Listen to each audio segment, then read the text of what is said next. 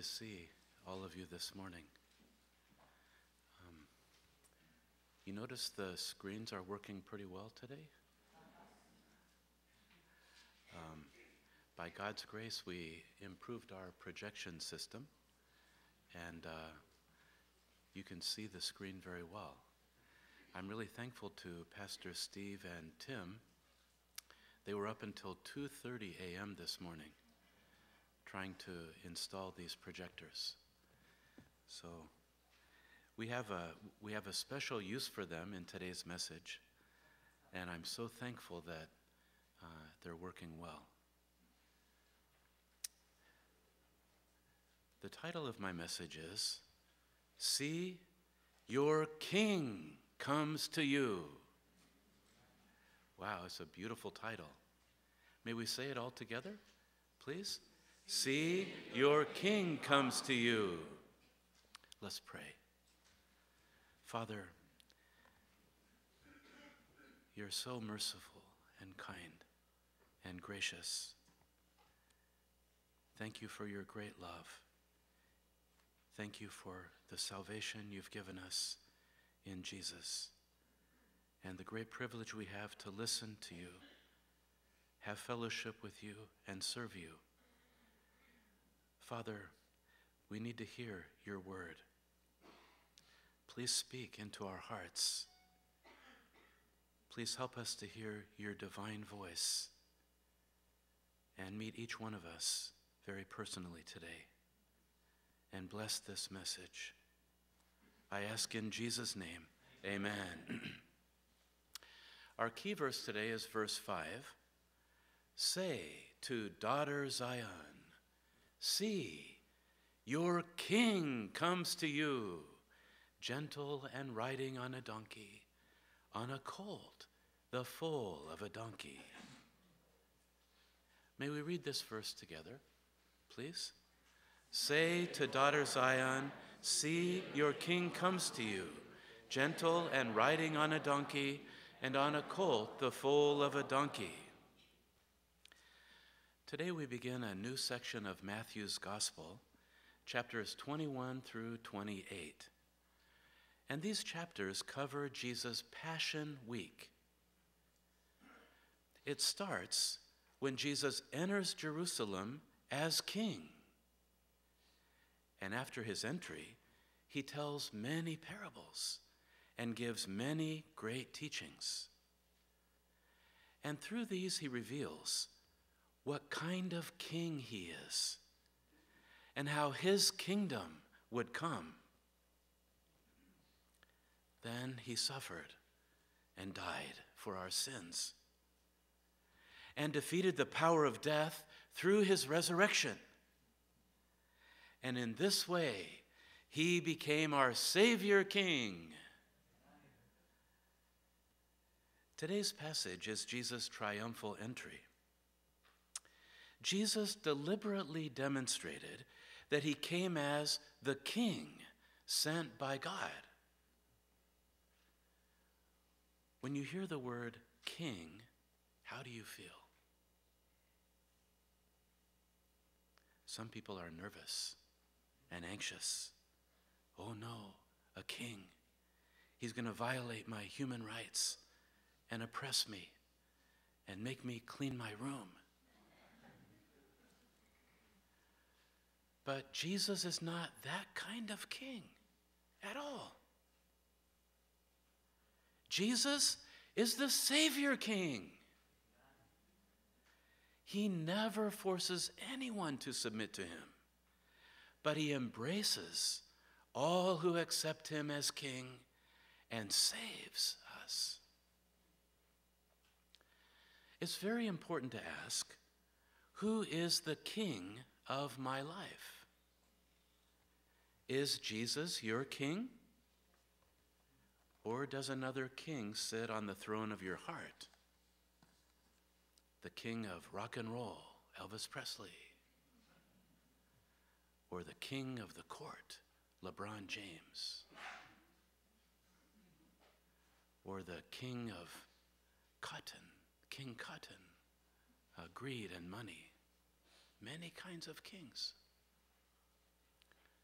Who's ruling in our hearts? When we honestly examine ourselves, many times we find we are our own king. But you know, we're terrible kings of our own lives. We just mess everything up. We really need our Savior King Jesus to rule over us. Let's learn what kind of king Jesus is and accept him in our hearts today. First, Jesus is a gentle and humble king. What kind of king? Wow, that's beautiful. Jesus had repeatedly told his disciples they were going up to Jerusalem and he would suffer and die and rise again. According to prophecy, repentance for the forgiveness of sins would be preached in Jesus' name to all nations, beginning at Jerusalem. It all takes place in Jerusalem. And now Jesus has come to Bethphage on the Mount of Olives, about five miles from the city. Jesus prepared to enter by sending two disciples with these instructions Go to the village ahead of you, and at once you will find a donkey tied there with her colt by her. Untie them and bring them to me. If anyone says anything to you, say to them, The Lord needs them, and they will send them right away. Wow, this teaching shows Jesus' omniscience. He knows everything. And his lordship. Jesus owns everything. Jesus is the creator God. John 1 3 says, Through him all things were made. Without him, nothing was made that has been made. Do you believe this? Then all things belong to Jesus. Everything belongs to Jesus.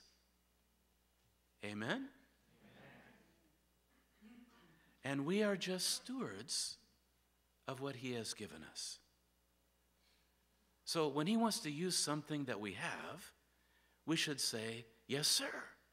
Here it is, sir. And indeed, it's a great privilege when Jesus uses anything in our lives. Are you ready to offer to Jesus what is His? In your family? In your personal life? As we prepare the International Summer Bible Conference, uh, my wife and I decided to host coworkers from Latin America in our home uh, because she speaks Spanish. I speak English. so we talked about it in our uh, family and where, where people can stay and what kind of arrangements to make. And we asked my youngest son, Joshua, age 11, if he can give up his room for a few days. And he became very serious and he thought about all of his stuffed animals, well arranged in his uh, room, which have great value to him because most of them I gave him after traveling on a long journey somewhere. So he's in a crisis, conflict. I believe it's time for us to learn the lordship of Christ Move the stuffed animals for a few days. Give the room to someone else. Amen. Uh, you agree? Okay, please tell him also. it's a good chance to learn Jesus' lordship. Everything belongs to him, right? Amen. Jesus' entry would have deep meaning. Look at verses 4 and 5. This took place to fulfill what was spoken through the prophet. Say to daughter Zion, See, your king comes to you, gentle and riding on a donkey, on a colt, the foal of a donkey. Do you know where this quotation is from in the Bible? Does anyone know? Yeah, Dr. Sarah said Zechariah. And you know when Zechariah lived? Anybody know? Bible scholar? Uh, nobody knows. We have to study Zechariah sometime. Around 500 years before Jesus, right? So, 500 years before Jesus, Zechariah gave this prophecy. And it has to do with the king who was coming, promised by God. When we see Matthew's gospel, there's a theme of Jesus' kingship. Remember in chapter 1, the genealogy of Jesus Christ? What did that emphasize? His kingship according to his genealogy. Did you notice how many times fulfilled is repeated in Matthew's gospel? Did anyone count? Come on, you've been studying Matthew's gospel, right? No one counted? No one counted. Oh gosh, we have to study Matthew all over again. I counted 14 specific times that prophecy was fulfilled by Jesus which had to do with his kingship. Matthew is saying to us very clearly Jesus is the king. And his kingship is authentic, legitimate, recognized by God. So if anyone opposes Jesus, they're opposing God. When we see the contents of this prophecy, we're amazed at the nature of his kingship. His kingship is essentially spiritual and different than that of worldly kings. He came to save his people from their sins. He is Emmanuel, God with us. He rules as a shepherd who nurtures, protects, guides, and helps his people. He fought against and defeated our enemy, the devil, and his temptations, and he gives us victory over him. Amen. And he has authority to forgive sins and cleanse all the guilt feelings from our hearts. He has power to heal the sick, drive out demons, even raise the dead.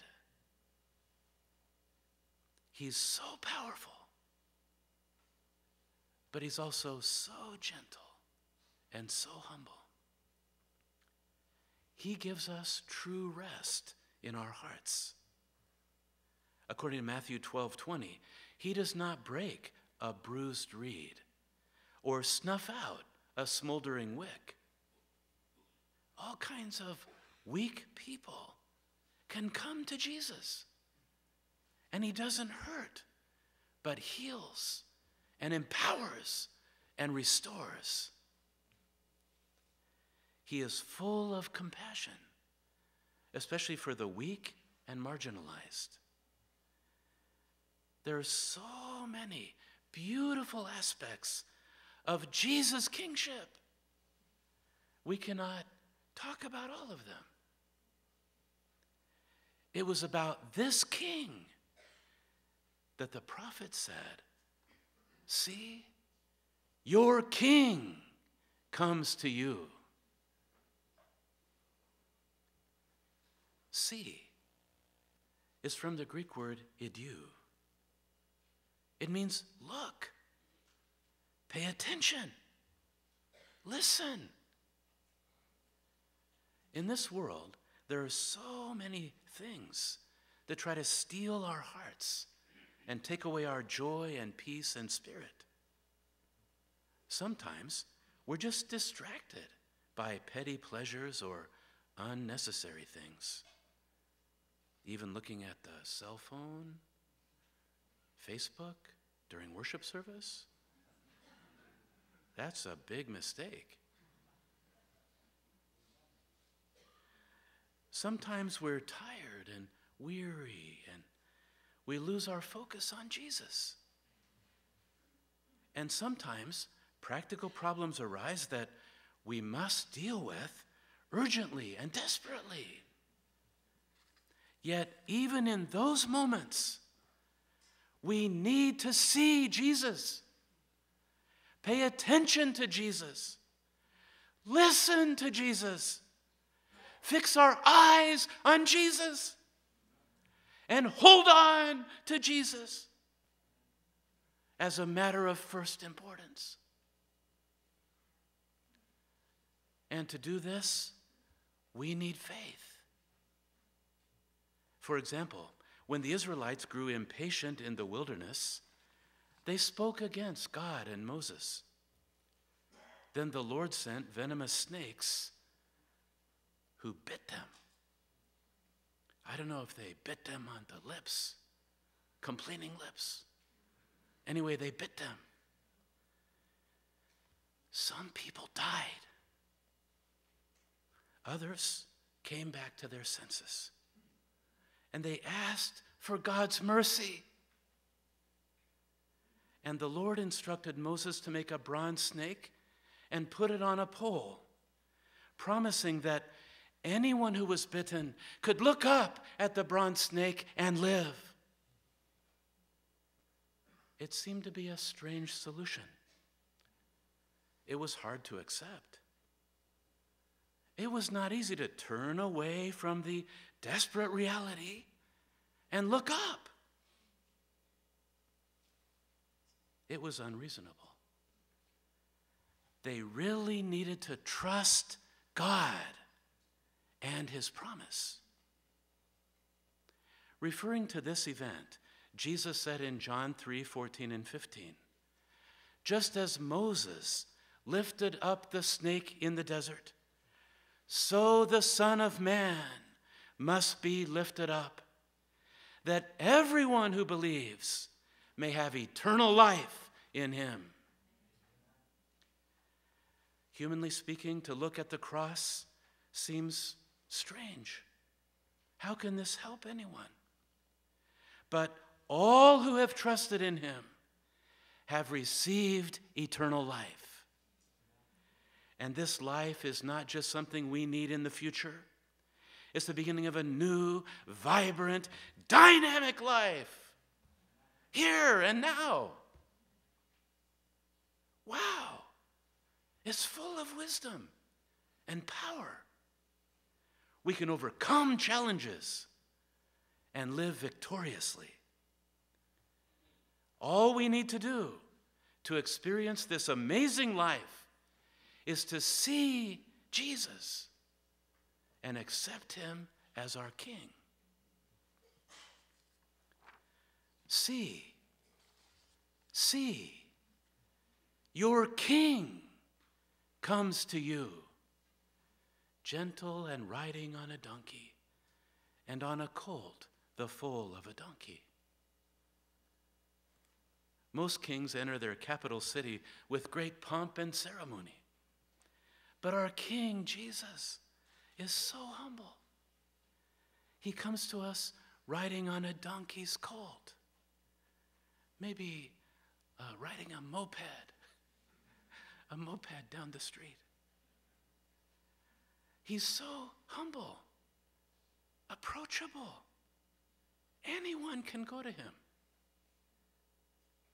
You know, most kings sit on their thrones and wait for their subjects to come to them. And without an appointment, there's no chance to meet them. But our King Jesus comes to us humbly. He stands at the door of our hearts.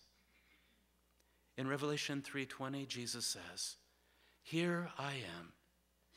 I stand at the door and knock. If anyone hears my voice and opens the door, I will come in and eat with them and they with me." You know, in verse 5, the pronouns your and you are singular, they're personal. Jesus wants to be the king of each one of us personally. And we have to make a personal decision to receive him in our hearts. Let's look up at Jesus. Let's accept Jesus as our King very personally. See, your King comes to you. As we begin this new year of 2018, I felt that I am personally at a crossroads. I will turn 60 in August. I know it's shocking. I look 42, but my birth certificate says 1958, so I feel like I can do many things, and I want to do many things, but reality is reality. Um, my wife noticed that I began to forget things, which I never ever did in the past. She always forgot things. I always remembered everything. Now I'm forgetting something.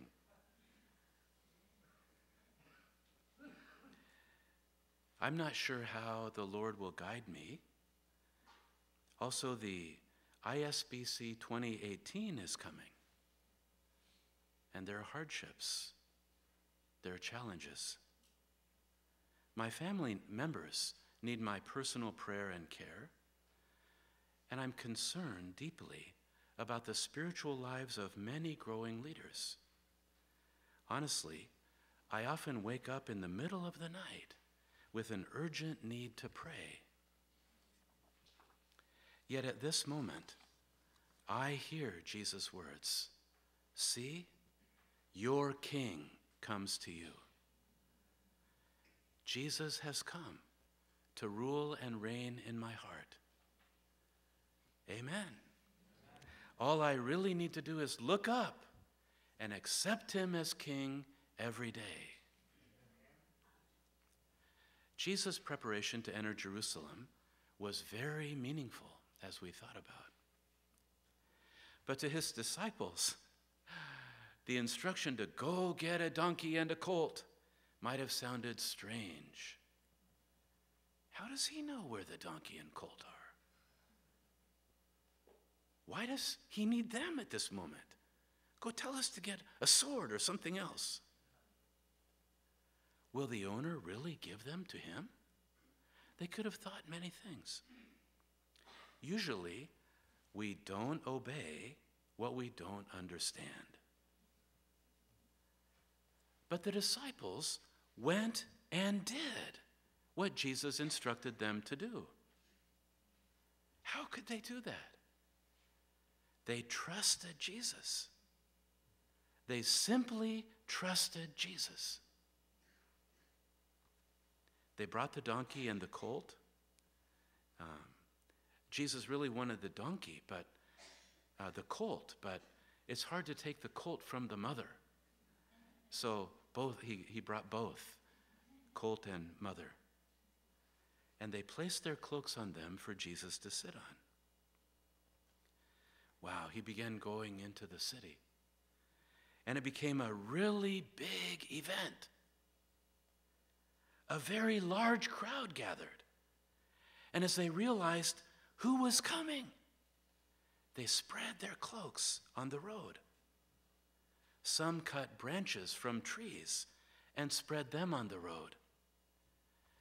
In our time, we would roll out the red carpet, but they had no red carpet. So they used branches and their own cloaks. It was a very personal expression of reverence and honor to Jesus. Soon, sounds of praise began to rise. The crowds that went ahead of him and those that followed shouted, Hosanna to the Son of David! Blessed is he who comes in the name of the Lord.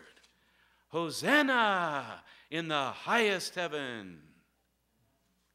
Wow, they welcomed Jesus as the King sent by God. They were so joyful and so full of praise from a willing heart. When we see Jesus and accept Him as our King, we're filled with joy, thanksgiving, and praise. When Jesus' disciples followed and praised Him with all their hearts, the whole city was stirred. People asked, Who is this? The crowds answered, This is Jesus, the prophet from Nazareth in Galilee. Here we learn that when we praise and worship Jesus in public, many people are drawn to Jesus. For example, in the Christmas season of 2010, a gifted and carefully arranged chorus sang Hallelujah by Handel in a shopping mall food court. Many people joined them until the whole shopping mall became like a worship service. Later, more than 51 million people viewed the event on YouTube. And even non Christians were moved to tears. We want to show you uh, briefly a segment of this.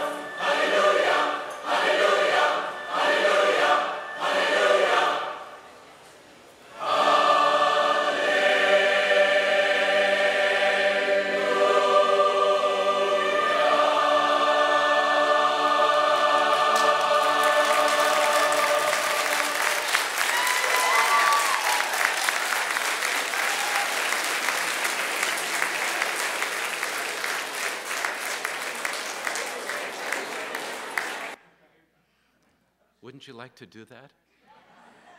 Shepherd Tim, uh, get volunteers.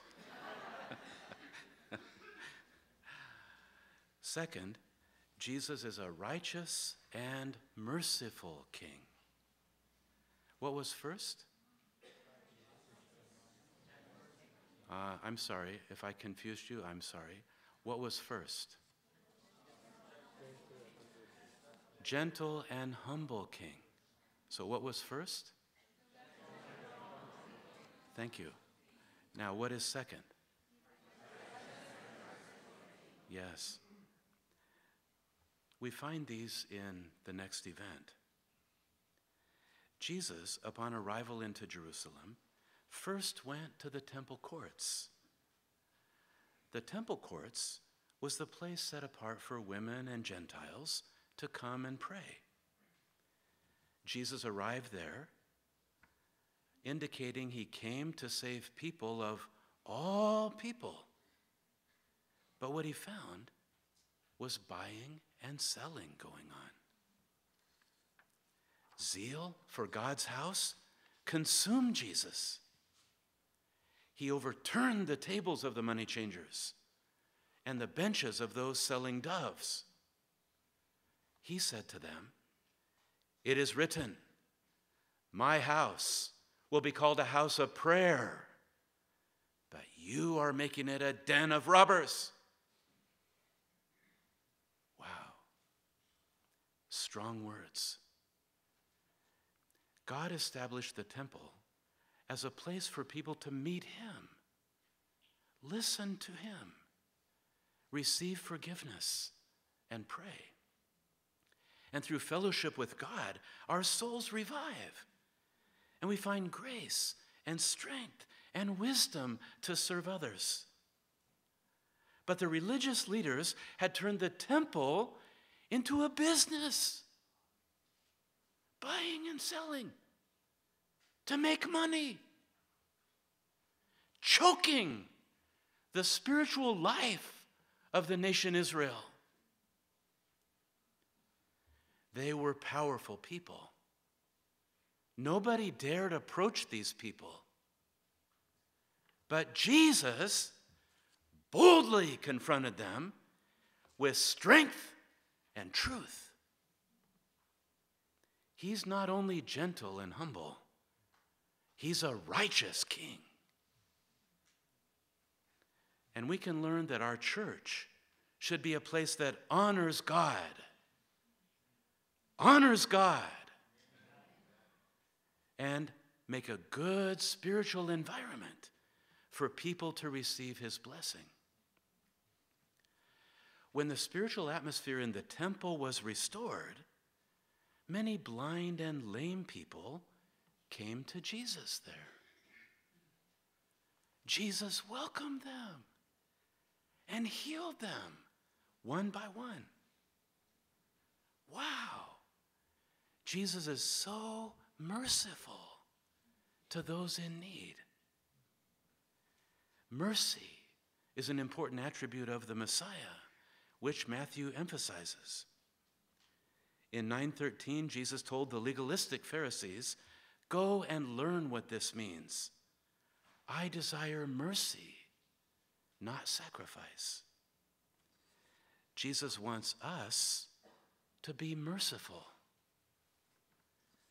Wow, the temple was so changed. All kinds of little children and healed people were in the temple praising Jesus.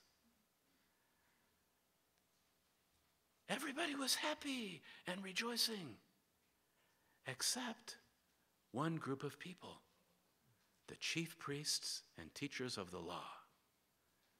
They became very indignant. Do you hear what these children are saying? wow.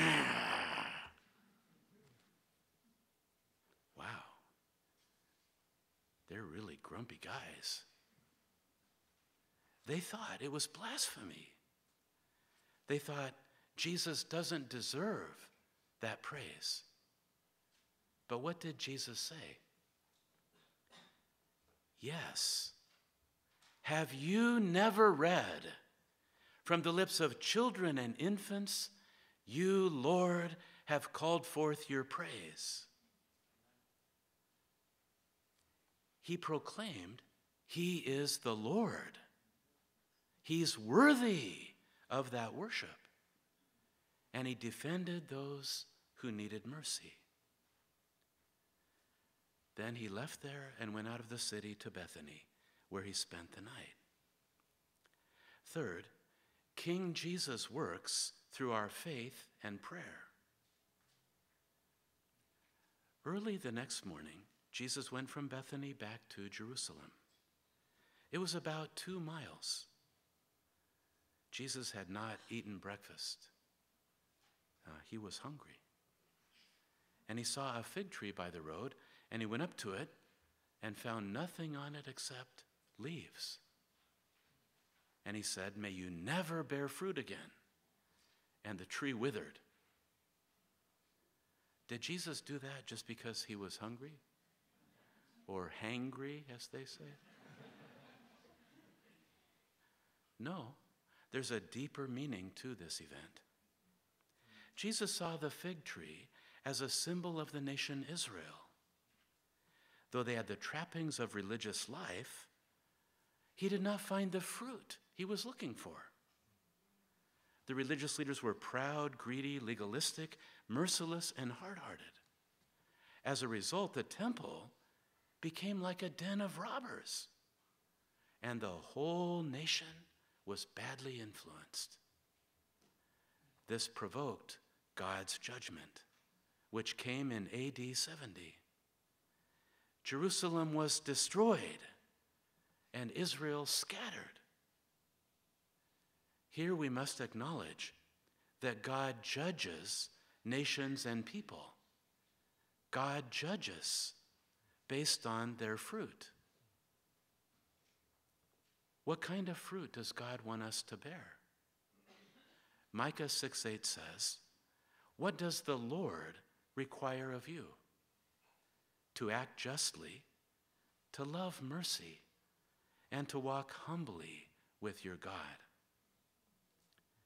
This is a poetic expression of the character of Christ that God wants to develop in each person. He wants each one of us to grow in Jesus' likeness.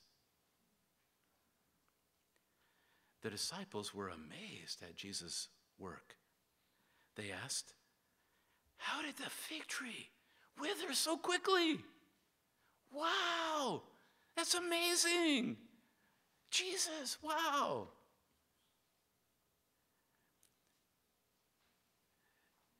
What did, what did he tell them?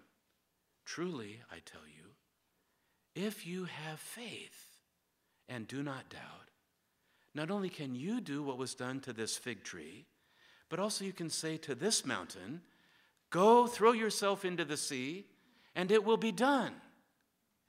If you believe, you will receive whatever you ask for in prayer. It's amazing. Jesus wants to empower his disciples to do great things for God, even moving mountains.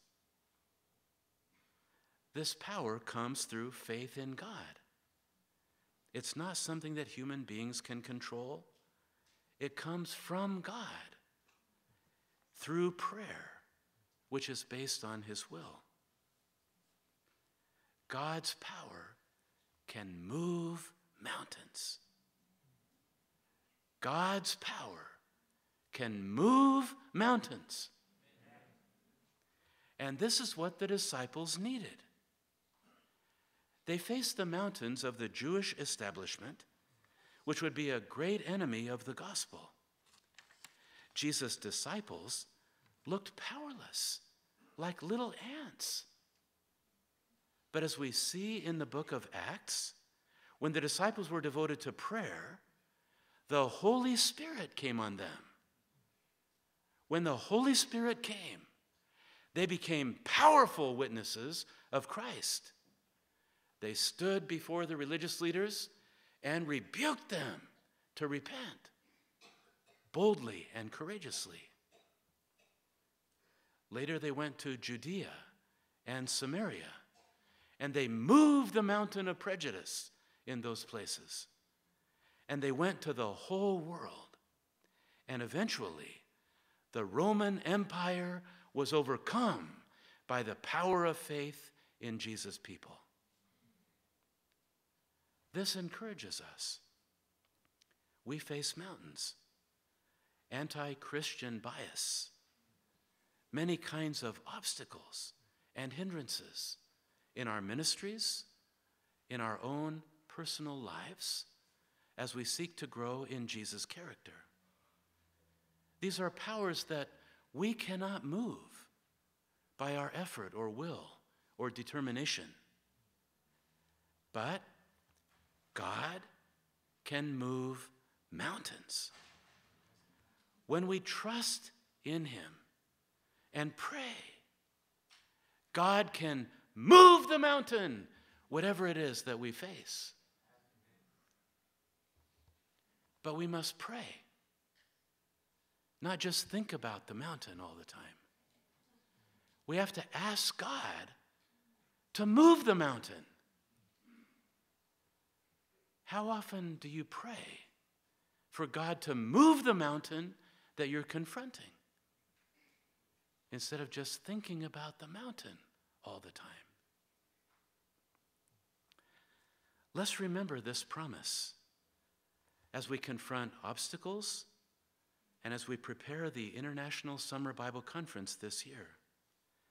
And let's remember this promise as we seek to grow in the likeness of our King Jesus. As Jesus is gentle and humble, he wants us to be gentle and humble. As Jesus is righteous, he wants us to grow in righteousness. As Jesus is merciful, he wants us to grow in mercy. And when we pray, trusting in God Almighty, all kinds of obstacles will move. We can grow in Jesus' likeness and bear much fruit for his glory. See, your king comes to you. Let's see Jesus and accept him in our hearts today. Let's pray. Father, thank you for the wonderful grace of Jesus, who came so humbly and so gently, but with such great power to move the mountains of sin and death, to move all obstacles and to restore your glorious reign and your great kingdom. Father, please help each one of us look up at you and see you today. Please come into our hearts, reign over us, make us more like you, and give us power to do your work. I ask in Jesus' name, amen.